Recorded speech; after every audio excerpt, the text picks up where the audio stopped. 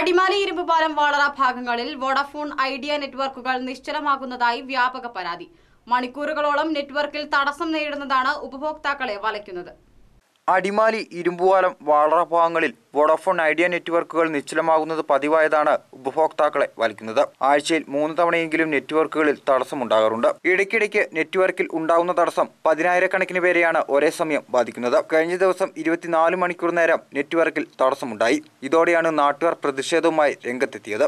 പകുതി ആളുകളും മറ്റു നെറ്റ്വർക്കിലേക്ക് മാറിക്കഴിഞ്ഞു. ഇവിടെ മറ്റു നെറ്റ്വർക്കുകളെ അപേക്ഷിച്ച് ഏറ്റവും കൂടുതൽ നെറ്റ്വർക്ക് തടസ്സം സൃഷ്ടിക്കുന്നത് ഐഡിയ വോഡഫോൺ കമ്പനികളാണ്. ആശുപത്രി സംബന്ധമായ ഏതൊരു ആവശ്യത്തിനും ഫോൺ എടുത്ത് മറ്റുള്ളവരെ അറിയിക്കണമെങ്കിൽ മറ്റു നെറ്റ്വർക്കുകളാണ് സഹായകരമാകുന്നതെന്നാണ് ഐഡിയ വോഡഫോൺ ഉപഭോക്താക്കൾ പറയുന്നത്. വളരെ അടിമാലി ഭാഗങ്ങളിലായിട്ട് കുറച്ചാണ് റേഞ്ച് കിട്ടുന്നില്ല.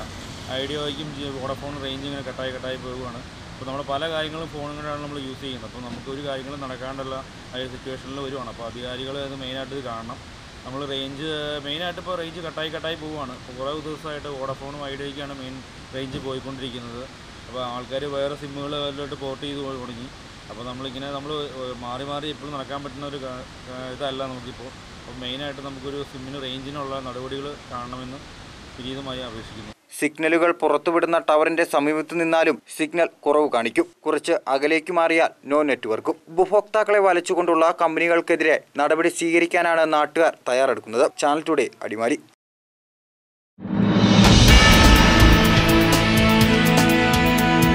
കൂടുതൽ വാർത്തകൾക്കും വിശേഷങ്ങൾക്കും ചാനൽ ടുഡേ ഡോട്ട് ഞങ്ങളുടെ വെബ്സൈറ്റ് സന്ദർശിക്കുക.